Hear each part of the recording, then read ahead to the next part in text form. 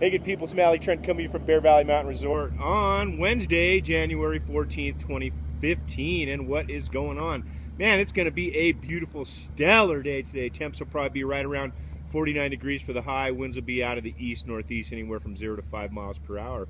And that's what's going on, man. I've had the last couple of days off. It's been gorgeous doing some other stuff.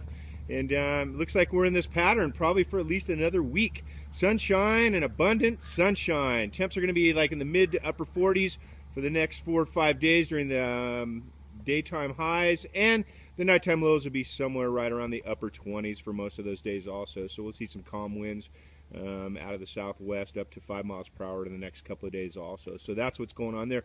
Grooming is happening, man. These guys have been killing it you know, all season long, just doing a phenomenal job. We have great conditions here, as you can see out onto the mountain.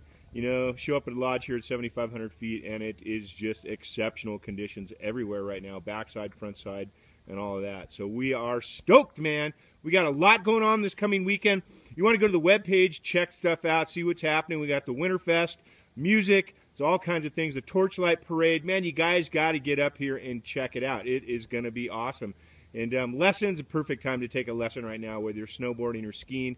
Can't say enough about that. Check out the snow sports, man. Aaron Johnson and his crew, those guys are throwing down. Anyway, hope you guys are going to have a great day and a great week. Like I said, it's Wednesday the 14th, a few minutes after 7 a.m. It's 33 degrees right now, and it is setting up for a stellar day. Look forward to seeing you guys up here and have a great week.